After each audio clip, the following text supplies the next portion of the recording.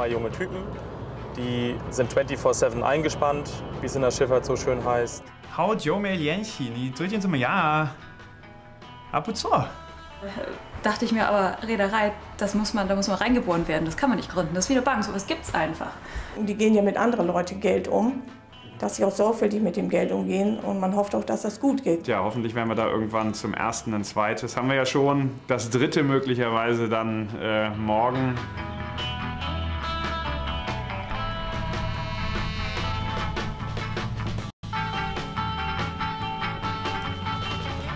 Alexander Tebbe und Lucius Spunk haben ausgerechnet in Krisenzeiten eine Reederei gegründet. Mit zwei Schiffen ist Auerbach Schifffahrt noch die kleinste Reederei in Hamburg, einem der größten Schifffahrtsstandorte der Welt. Mehr als 120 Reedereien haben ihren Sitz in der Hansestadt. Wer hier seinen Firmensitz an den berühmten Balindamm legt, unmittelbar neben Hapag-Lloyd, will sich bestimmt nicht verstecken.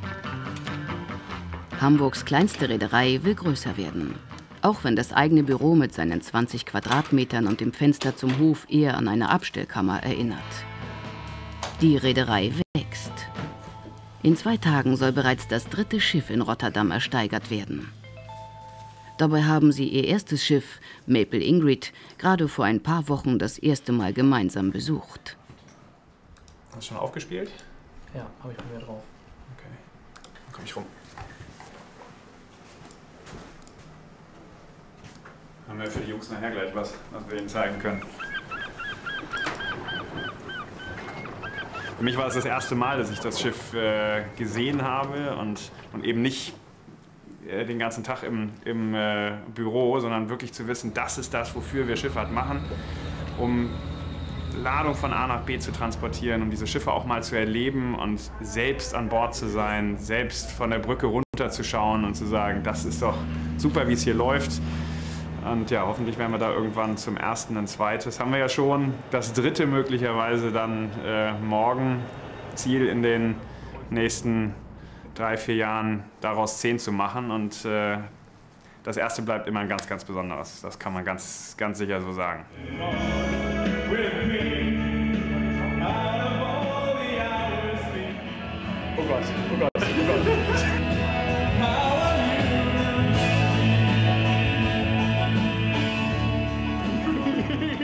Noch ist der Firmenwagen ein Golf. Lucius Bunk und Alexander Tebbe haben ihr gesamtes Geld in ihre Firma gesteckt. Vor der Versteigerung fahren beide nach Leer in Ostfriesland, dem zweitgrößten Reedereistandort Deutschlands. Hier wollen die beiden zu der Firma, die die Befrachtung eines ihrer Schiffe vornimmt. Aber schön.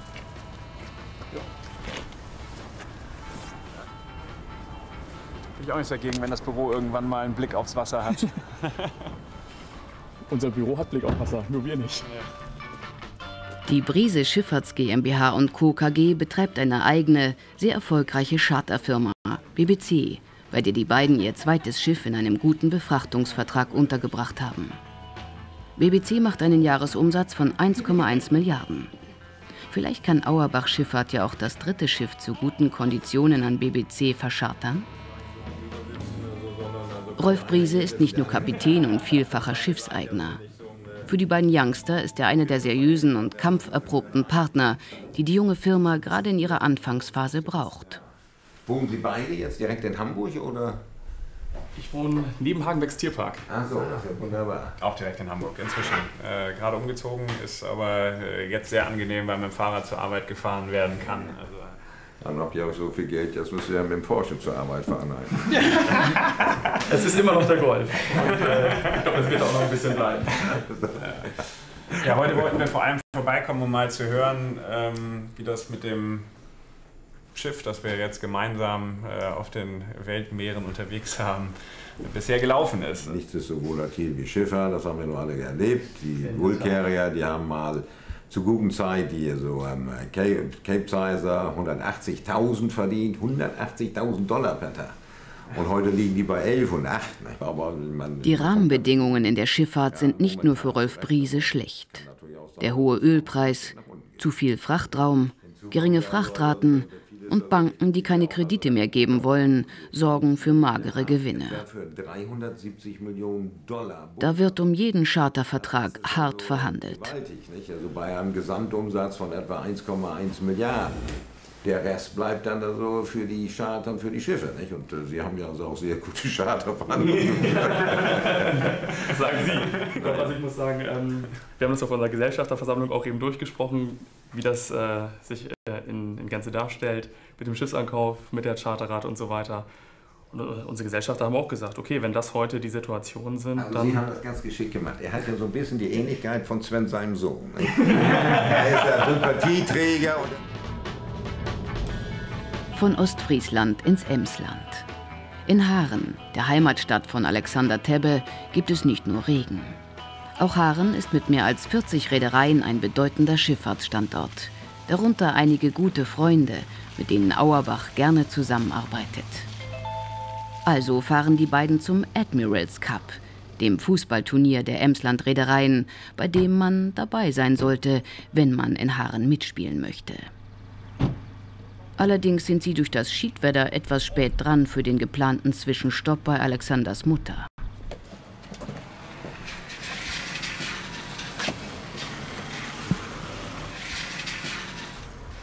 Hallo ihr beiden, seid ihr endlich da? Hallo Mama. Prima, das freut mich aber. Hallo Lucius. Hallo. Endlich seid ihr hier. Wie war die Fahrt? Gut. Gut? Durchgekommen, ja. Prima. Wir haben es ein bisschen eilig jetzt, äh, weil wir schon ein bisschen spät dran sind. Mit dem Fußball geht ja um 14 Ja, Uhr los. Aber 14.30 eben Kaffee könnt ihr doch noch trinken. Ja, Oder Tee, das doch. wird ein bisschen knapp. Äh, Ja. Wir legen immer die Sachen oben ab. Und Alles klar. Ja. Und dann kommt man eben wieder runter. Ich mache euch trotzdem eben was. Ne? Okay.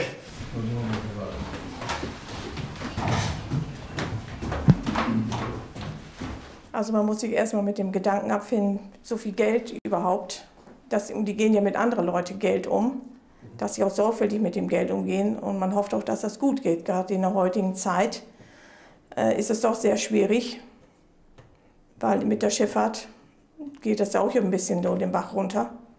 Und ich hoffe, dass das, dass das klappt. Und äh, ich hoffe auch, dass die beiden so bodenständig bleiben. So, wir gehen los. Ja, dann tschüss ihr beiden. Tschüss. Schönen Tag wünsche ich euch und dann bis heute Mittag. Tschüss. Ja? Viel Erfolg. Danke. Ja? Hauptsache, wir haben Spaß Ich davor. komme nachher auch noch vorbei und werde mich das mal anschauen. Ja? Ja, tschüss. Drei Schiffe in nicht mal zwei Jahren. Mit einem Investitionsvolumen von vielen Millionen Euro. Da ist der Hinweis der Mutter auf die Bodenständigkeit vielleicht gar nicht so schlecht. Manchmal ist nicht der geleaste Sportwagen, sondern der schnelle Fußmarsch die effektivste Art, von A nach B zu kommen. Für den Betreut von zwei Jugendspielern, da könnt ihr doch mal zeigen, wie zielsicher ihr seid. Ich glaube, die Jungs, die würden sich freuen, wenn jetzt mal einige kommen und dort auch Die passende Dienstkleidung muss nicht immer Maßkonfektion sein. Es gibt eben viele Wege, die zum gemeinsamen Ziel führen. Der eine neben, der andere auf dem Spielfeld. Und während der eine auf dem Rasen kämpft und sich mächtig für seine Mannschaft ins Zeug legt, trifft sich der andere mit alten Kumpels.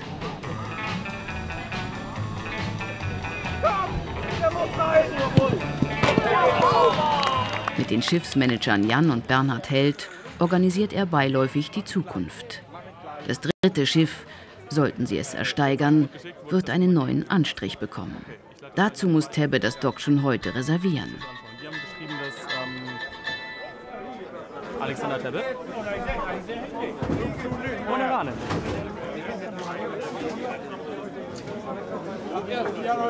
Ich wollte nur kurz fragen, weil ich jetzt gerade mit äh, Jan und Bernhard Held hier zusammenstehe. Wir sprechen gerade die Docken für nächste Woche durch. Und ähm, ich wollte nur fragen, wie das ist, ob sich andere angemeldet haben. Ähm, auch fürs Seeschiffsregister und so weiter, dass wir dann mit der Eintragung anfangen können. Versenken. 3-1 und Ein Anruf aus gut informierten Kreisen. Ob sie in Rotterdam einen Mitbieter haben werden, ist für die Reeder wichtig. Bestimmt den Preis, und entscheidet am Ende über den Gewinner. In der Endphase volle Konzentration. Selbst am Tag vor der Versteigerung wissen beide nicht, ob sie Erfolg haben werden. Aber dass sie grundsätzlich nicht nur auf dem Sportplatz, sondern auch in der Krise und im fernen China gewinnen können, wissen Lucius Bunk und Alexander Tebbe sehr genau. Was sich gerade in der Krise gezeigt hat, ist, dass viel schnelles Geld verdienen, heute rein, morgen raus und 25% Rendite, doch sehr mit dem Thema Citigroup und Lehman Brothers zu tun hat. Das war nun genau das, mit dem wir uns nicht identifizieren wollen, sondern eher mit Vernunft, Fleiß und hanseatischem Anstand. Wei? Ah, 你好。好久没联系，你最近怎么样啊？ Ab und zu. Mit außergewöhnlichen Sprachkenntnissen und moderner Kommunikationssoftware beobachten sie nicht nur den chinesischen Markt, auf dem sie schon bald eine Auerbach-Dependance gründen wollen, sondern auch die Bewegung ihrer Schiffe, mit denen sie ständig in Kontakt stehen. Wenn man hier auf Auerbach Schifffahrt klickt, sieht man eben hier unseren Facebook-Account, wo wir regelmäßig Sachen posten, die rund um Auerbach Schifffahrt, rund um die Schifffahrtswelt im Allgemeinen passieren. Ähm, unter anderem eben auch hier ein kleines per Handycam gedrehtes Video aus Passachis. Wie man hier sieht, liegt das Schiff gerade in Südamerika, beziehungsweise an der karibischen Küste.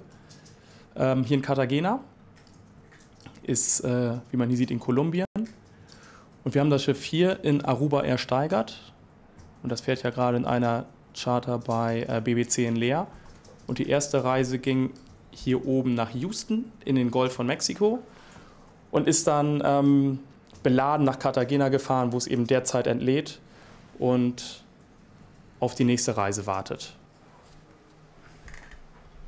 So unterschiedlich die beiden auch in ihrem Temperament sein mögen, so sehr ähneln sie sich in der Leidenschaft für die eigene Reederei.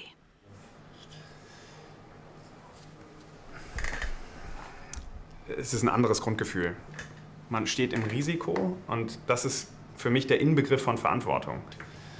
Ähm, und das ist was, was, was ich immer wichtig fand, quasi wirklich selbst in der Verantwortung zu stehen, Verantwortung zu übernehmen und bereit zu sein, die Konsequenzen zu äh, tragen, wenn es eben nicht läuft.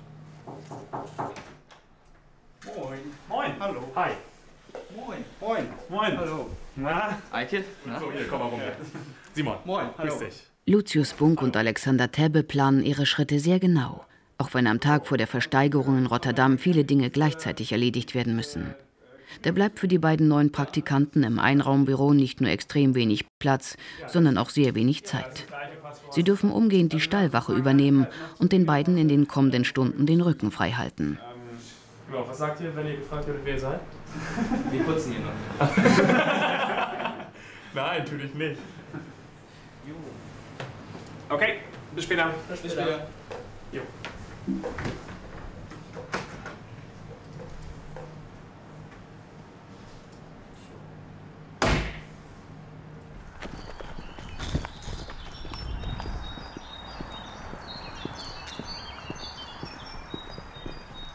Früher waren für junge Räder Banken wichtig.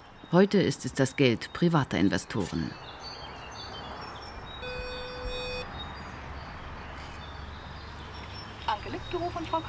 Hallo Frau Lipp, Alex Alexander Tebbe pflegt die guten Kontakte der Reederei. Er besucht die privaten Geldgeber, gerade auch jetzt vor dem Kauf des dritten Schiffes. Mittlerweile braucht ein Investor eine halbe Million Euro, wenn er Gesellschafter von Auerbach Schifffahrt werden möchte. Und in einer Stadt wie Hamburg gibt es sehr viel privates Geld, das darauf wartet, angelegt zu werden. Barbara Karan ist Mitgesellschafterin von Auerbach Schifffahrt und eine aus dem Umfeld dieser wohlhabenden Privatpersonen, die als Geldgeber der jungen Reederei ihr Eigenkapital zur Verfügung stellen. Es ist gut zu sehen, wie souverän und charmant Alexander Tebbe nach außen wirken kann, wenn es im Inneren brodelt. Leichte Anspannung kann ich da nicht verhehlen, muss ich schon durchaus sagen. Obwohl, Sie können es jetzt nicht mehr so stark beeinflussen. Ne? Um 10.30 Uhr treffen wir uns mit dem Anwalt, um das Prozedere durchzusprechen. Das ist ja, ich weiß nicht, ob Sie es kennen, eine Reverse Dutch Auction, die von oben runter gezählt wird. Okay, ja, da haben wir drüber gesprochen, ja. Mhm. Da muss man sich so ein bisschen ja, taktisch aufstellen, wie man sich dann da verhält in der Auktion. Da sprechen wir morgen noch kurz durch, um 10.30 Uhr. Ja, und dann ähm, kriegen Sie gegen Mittag einen Anruf von uns. Ist ja ein Schwesterschiff zum ersten. Ja. Und es ist was, wofür wir jetzt auch wieder eine Zeitcharter verhandelt haben. Ich denke mal, das ist mit das Wichtigste, dass wir Charter haben, nicht? Ja, ohne Beschäftigung Ist es dann auch kein Ziel? ist ja so ein bisschen dieses Thema, was wir immer sagen, dass man auf der einen Seite immer einen sehr, sehr großen Fokus auf Tonnage gelegt hat, auf das Schiff selbst, auf die Finanzierung, aber eben Fracht und Ladung, das, was der eigentliche Geldbringer in der Schifffahrt ja ist, so ein bisschen vernachlässigt wurde. Das ist ein Ziel, dahin zu kommen. Es ist sicherlich ähm, mit ein, zwei und auch noch mit drei Schiffen sehr schwierig umsetzbar. Aber ähm, ja, da gehen wir zusammen mit Ihnen so den einen und den anderen Schritt nach und nach. Und dann In schauen wir Ruhe auf die zehn Schiffe zu. Fünf Jahre, zehn Schiffe. Ja, das Eine- ist doch ein gutes Ziel, oder? Ja, dann drücke ich die Daumen und freue mich, morgen von Ihnen zu hören. Auf jeden Fall. Gegen Mittag bekommen Sie einen Anruf von uns. Sehr schön. Prima. Vielen Dank. Dankeschön für Ihre Zeit, Frau Kasper. Lucius Bunk hat mit seinen 33 Jahren bereits eine eigene Familie. Seine Frau Andrea hat er vor acht Jahren kennengelernt. Gemeinsam waren sie mehrere Jahre in Asien, als Lucius Bunk dort für eine Hamburger Reederei arbeitete. Sein jüngster Sohn Jasper kam vor dreieinhalb Jahren in Shanghai zur Welt.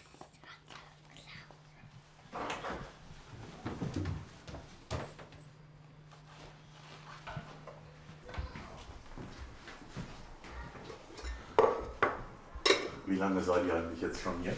Ach, zwei Monate sind wir Zwei hier. Monate. Ja, noch alles im Werden. Und fühlt ihr euch schon angekommen? Ja, wir sind hier in Winterhude zu Hause. Wir sind eher zurückgekommen. Angekommen war nicht die Frage, zurückgekommen war es. Vorher in Shanghai und Winterhude ist nicht ganz so quirlig, aber trotzdem schön lebhaft. Und jetzt vor Rotterdam nochmal extrem viel weniger Zeit? Ja, vor den Schiffsankäufen, wenn es denn vor- zu einem Schiffsankauf überhaupt kommt, also auch bei den Verhandlungen, merkt man das schon spürbar, dass weniger Zeit ist. Ja, auf jeden Fall. Und fieberst du mit? Ja, ziemlich. Nicht nur ich, wir haben einen gesamten Freundeskreis, der mitfiebert, der dann äh, immer informiert werden möchte, sobald es soweit ist. Und ähm, ja, als wir in Shanghai noch waren und Lucius mir erzählte, er hat jetzt vor, eine Schifffahrtsgesellschaft zu gründen. Schifffahrtsgesellschaft denkt man immer gleich Reederei. Ja, dann äh, dachte ich mir aber, Reederei, das muss man, da muss man reingeboren werden. Das kann man nicht gründen. Das ist wie eine Bank, sowas gibt's einfach. Ja, und ist jetzt ein bisschen anders gelaufen. Da fiebert man mit. Sag mal, äh, der Anzug? Hängt draußen an der Treppe. Okay. Ups,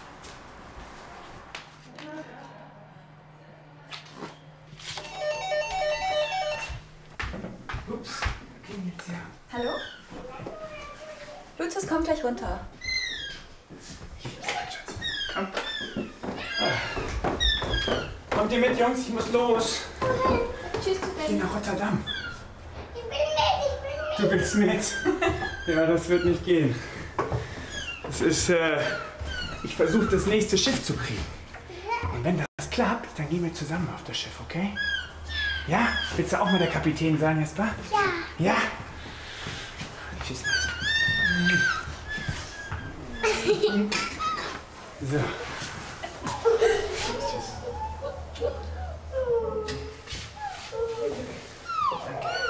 Erfolg. Tschüss. Bye bye. Tschüss, denn. Bye bye.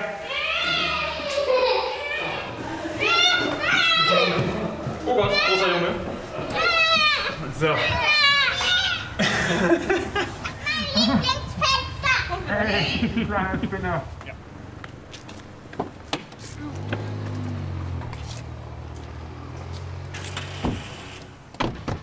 Fast fünf Stunden und exakt 501 Kilometer von Hamburg nach Rotterdam. Zeit zum Nachdenken. Also, jetzt alle Vorzeichen zu kennen, hätte schon mit sehr, sehr viel Pech zu tun, wenn es nicht klappt. Aber ähm, ich bin nicht bekannt dafür, den Tag vor dem Abend äh, zu loben. Das möchte ich auch an dieser Stelle nicht tun. Wir müssen uns überraschen lassen und wir müssen uns das anschauen. Ich bin selber sehr, sehr gespannt. Ich war in meinem ganzen Leben noch nie in einem Gerichtssaal. Ich habe nicht mal eine Vorstellung davon, wie das aussehen könnte, was uns da erwartet, wer uns da erwartet. Ähm, ich bin positiv eingestellt. Ich glaube, dass es eine realistische Chance gibt, dass Auerbach Schifffahrt morgen Nachmittag drei Schiffe hat. Aber ja, die Flasche Bier kaufen wir erst danach, würde ich sagen.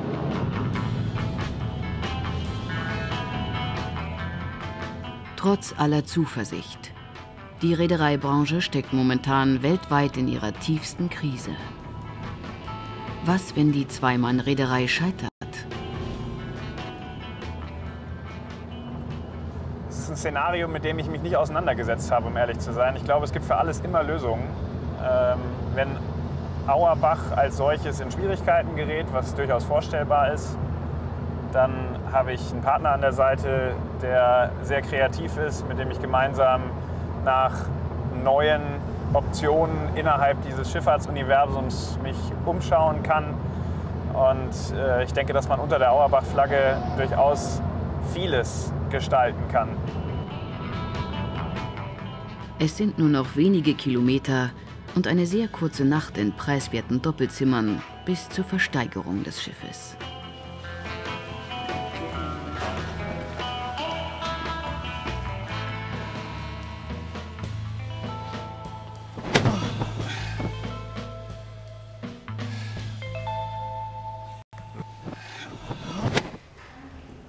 Der entscheidende Morgen. Vor der Versteigerung haben sich die beiden noch auf ein kurzes Strategiegespräch mit ihrem holländischen Anwalt verabredet. Hi. Für eine Auktion in Rotterdam braucht man als deutscher Reeder eine holländische Kanzlei. Wenn man sich so gar nicht kennt, könnte das ein Problem sein. Aber die Chemie stimmt. Und die Fakten sind schnell besprochen. Hello. Hello. We've just with, uh, been with us since the beginning of the week, and we thought uh, auction is a very special event, so uh, we decided we take everyone along. Uh, I understand.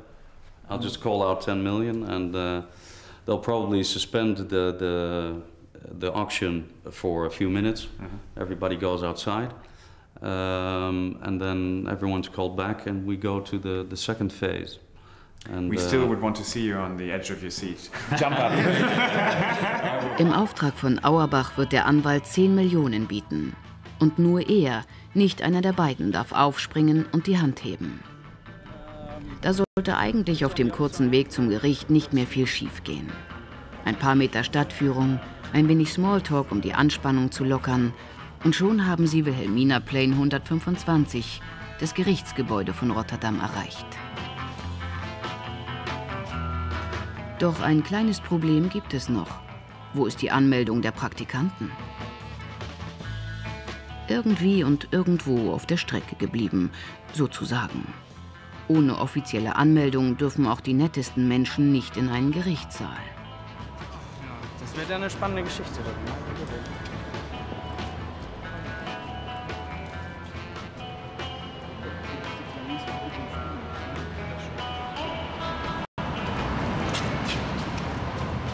Spannung steigt. Ja.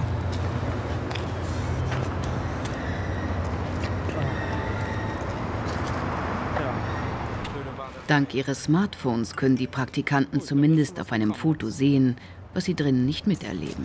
Mal sehen. Guck mal, so sieht das da aus. Das ist auch nicht schlecht. Das sieht aber grimmig aus. Ja. Hoffentlich klappt das jetzt auch. Und? Schiff Ahoi? Yes! We got it. Schön. Glückwunsch, Glückwunsch. Glückwunsch. Dankeschön. Es saßen ähm, vier Menschen mit Robe vorne und haben das Ganze auf Holländisch dann erklärt und erzählt. Und ähm, wir saßen hinten und dachten, okay, was auch immer die da jetzt erzählen. Und die Richterin hat viele kritische Fragen gestellt, ob das jetzt alles so sein müsste, was am Ende da passiert. Und ja, nicht zu verstehen, was die zu erzählen, ist auch eine spannende Erfahrung. Und irgendwann stand einer auf mit einem Hammer in der Hand und hat dann angefangen, von oben runter zu zählen. Guckte so in den Raum. Irgendwann ähm, stand unser Anwalt auf, hob die Hand. Der Richter schlug zu. Und jeder guckte sich an und war fröhlich. Das dritte Schiff von Auerbach liegt vor Rotterdam auf Rede. Der Weg dorthin führt die jungen Reeder durch den größten Hafen Europas.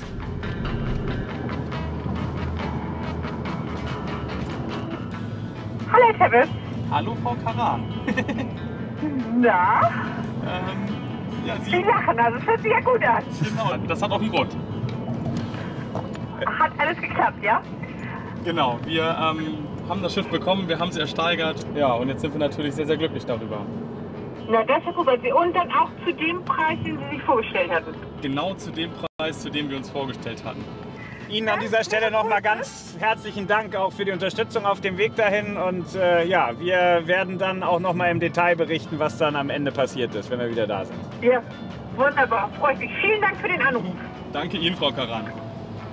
Tschüss, ja.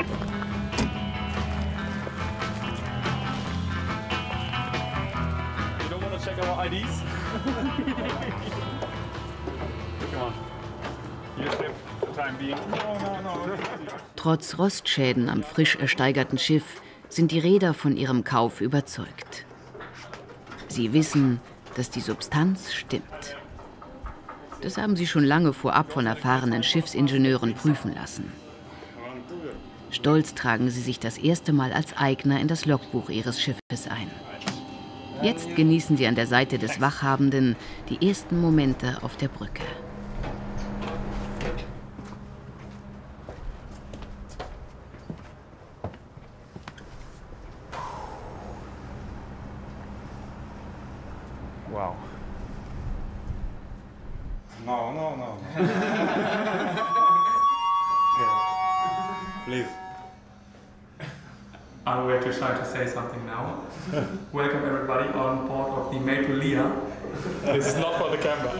Im entscheidenden Moment haben Alexander Tebbe und Lucius Bunk einen neuen Schiffsnamen parat. Und die eigene Auerbach-Flagge.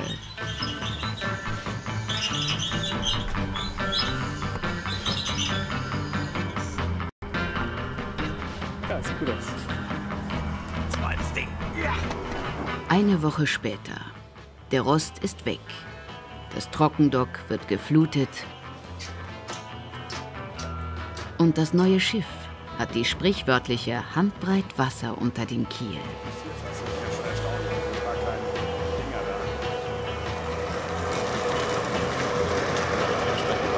Wie findet ihr meine graue Farbe? Die ist schick. Also ich finde, finde die Kombination Und eigentlich ich habe 5 Euro weniger bezahlt. Ja, ich weiß. Liter. Das finde ich gut. 5 Euro pro Liter, wie viele Liter gehen da drauf? Äh, Das sind ungefähr 10.000, nicht ganz 10.000 Euro. 10.000 Liter. Das heißt, wir haben 5.000 Euro gespart. Nee, wir haben 10.000 Euro. 10.000 Euro gespart. Das Startkapital für das vierte Schiff sollte damit schon mal klar sein. Und Richtung fertig? Ja, wir müssen. Der Richter muss, sonst kann er nicht fahren. Okay. Und haben wir einen Zentimeter gefunden? Ja, ja, Sehr gut.